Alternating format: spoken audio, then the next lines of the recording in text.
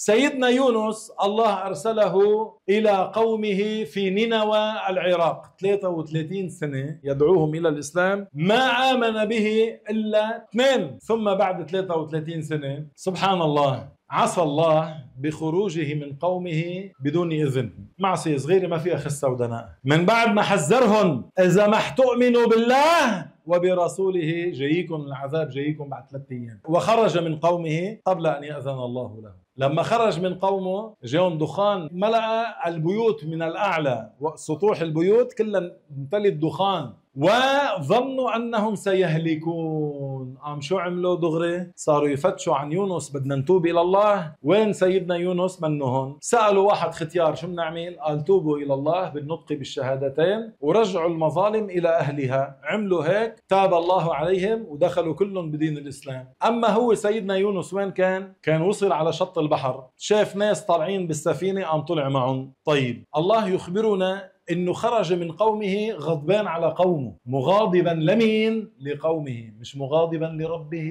اللي بيغضب على رب العالمين بيكفر. بعدين الله يخبرنا إنه سيدنا يونس كان ظان أن الله لن يضيق عليه. فماذا قال ربنا؟ وذنوني إذ ذهب مغاضبا فظن أن لن نقدر عليه. معناه أن لن نضيق عليه معناه أن لن نؤاخذه.